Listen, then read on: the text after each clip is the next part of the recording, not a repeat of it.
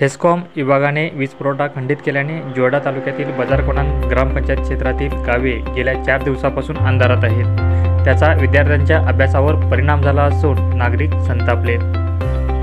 एकीकडे सरकारकडून दिले जाणारे रॉकेलही बंद झाले आहे.